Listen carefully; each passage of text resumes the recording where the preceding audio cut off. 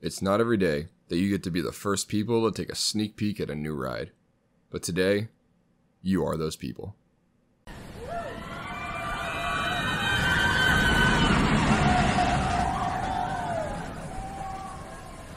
What's up, guys? Dr. Coaster here on behalf of the Georgia Coaster Connection, and welcome back to another ArieForce One construction update. Before we get started, I just want everyone to know that all photos and footage included in any of these updates are free to use with credit. I'd also like to thank my Georgia Coast Connection partners Chris and Christopher as we gather this content together. I'll link their pages down below. After returning home from Florida, I headed back to the park this past Saturday to film the final of what I thought was going to be a pretty basic ArieForce One construction update. Until we ran into John Arie Jr. himself, which was totally unexpected. Even more unexpected as he invited us behind the fence and gave us an exclusive tour of the ride that no one has been able to do before and he let us film the whole thing. Now, before we get into that footage and some more testing of the ride warmed up, he asked me to break some news about opening day. So here it is. The schedule for opening day will be as follows. From 9:30 to 12, there will be a VIP family and friends grand opening celebration. From 12 to 4, there will be a season pass holder exclusive preview, and at 4 o'clock, the ride will open to guest. I'm also excited to announce that I will be attending the VIP event and filming content throughout it to be able to share here on the YouTube channel. I'm so excited to be able to capture a reverse POV of my first reaction to the ride. Lastly, before we get to the tour, here are a few quick construction updates since the last time we were here. The first is some new landscaping that has been done in front of the ride. And as you'll see in a few moments, this isn't limited to just here, as the park has been landscaping the queue for the ride as well. There's also a new path that has been installed both in front of the ride and behind the ride for maintenance vehicles, and there's no longer a muddy mess of a construction zone as there's been grass that's been planted as well. These both really help to spruce up the look of the park and make the ride pop just that much more. Another fun update that I'm excited to share with you all is that the building seen here is going to be the merchandise shop. Now, this likely won't be open by opening day at the end of March, however, it should be up and operating in May. Expect to be able to buy t-shirts and other various coaster merchandise here related to ArieForce One. Fun Spot really hasn't dove into true coaster merch before, and they're excited to do this for the very first time. And I'm not sure what it is, I was able to confirm that the ArieForce One gift or gifts associated with the Ultimate Season Pass would be some of these items. Lastly, there's going to be multiple signs across the entrance of the ride that can be seen from both the road and the entrance. You'll be able to walk underneath the entrance sign in something that'll look a little like this, except with legs that you're going to be able to walk through. There's also going to be signage on the side of the station and the front of the ride itself. These signs are currently in production and may or may not be available for opening day. However, they will be there as soon as possible and you know they're going to look incredible once they're there. The Arie family and Fun Spot as a whole just want this ride to be open and for people to be able to enjoy it at this point. Now without further ado, Let's get on some testing and a sneak peek of the ride for the very first time. I'll jump in to fill in some holes and give some stats about the ride, but other than that, take a listen and enjoy this exclusive sneak peek of the ride given by John Arie Jr. himself. And then, um, so once you walk through, we want some people wanting to, you know, take photos and everything. Yeah. They come in here, and you can wait on your friends or whatever to get off the, the main coaster. Now, throughout the land scene here with the grass, People are probably wondering why are the lights still there? And that's because John Arie Jr. has plans of putting further rides there, right next to ArieForce One. He wants it to be able to be kind of a plaza where family and friends that don't like coasters and people that like coasters alike can ride rides together and then meet afterwards. And while there's more flat rides going right here, this also doesn't mean this is the last coaster, because there will be more, for both here and the other parks. These are the first signs to go we're working upstairs and all that. This is probably want a picture of that. Totally different inside. Totally like themed out. We've got a, a creative guy in house that's going to be doing all this. So it's going to be theming in the queue then. Theming in the queue. This is awesome. The queue's going to come through here. There's queue rails. There's, there's stuff going here, here, everywhere you see. So.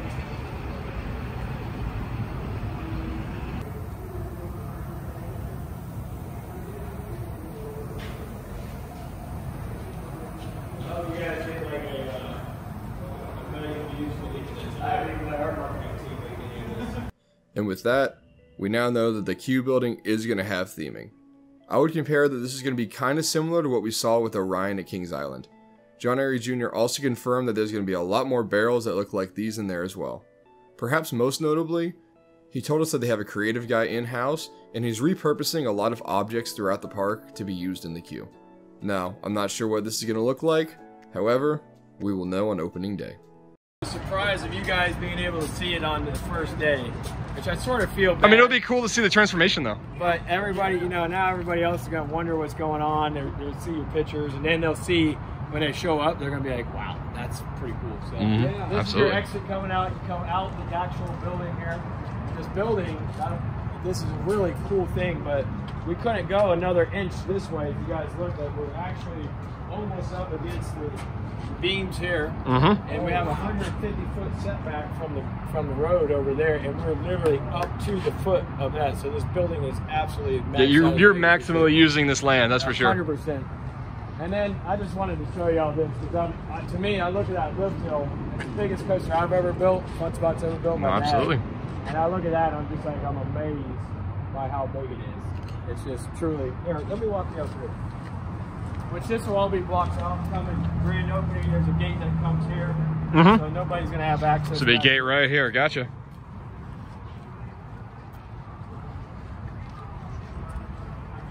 This is the MCC building, where all the controls are. We're obviously working on. Uh, there's Brian. There's the mastermind behind all the electronics. Thank you. Good work. Yeah, this guy is a genius. He's awesome. You know, he's done a lot of the coaching that we've done before. Keep up the amazing work. Thank Yeah. you. Thank you.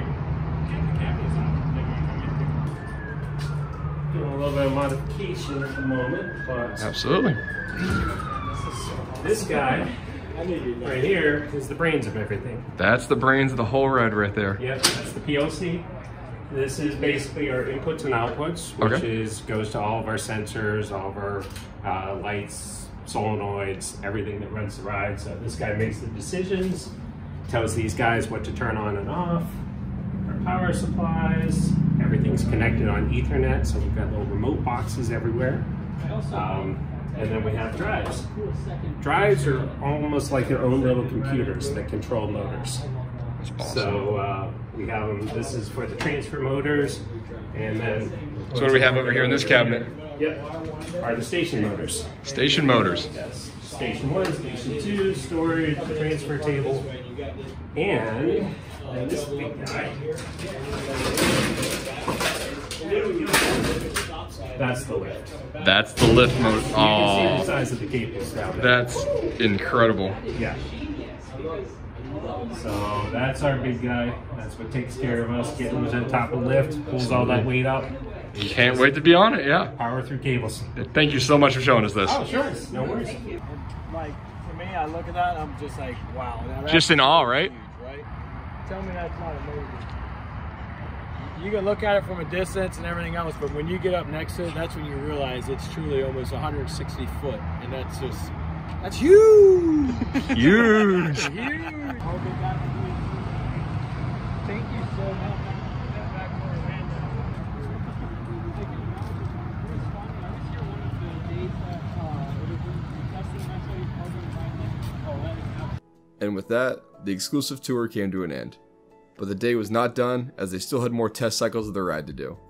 When we were talking with John Arie Jr., he shared with us that they have shaved 3 seconds off the runtime on this ride, and it's totally obvious in this footage if you put it side by side with some of the footage we took back in December. This thing is flying. Now, again, we are all extraordinarily grateful for this opportunity. Getting this kind of exclusive access was phenomenal. He even let us hold the entrance side to the ride. Uh, it doesn't get much better than that. With the tour now done, let's get on to some final testing footage of the ride.